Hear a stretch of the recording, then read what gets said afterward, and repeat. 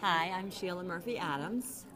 I write children's books. I'm a local teacher in Stonington, Connecticut, and I've written seven children's books that my father uh, illustrated for me. And we write together and illustrate together and work through the process together, and it's a lot of fun. All of my books have parent teacher pages in the back so that you can extend the story a little bit longer with some conversation and activities. And I really enjoy doing this. A dream come true.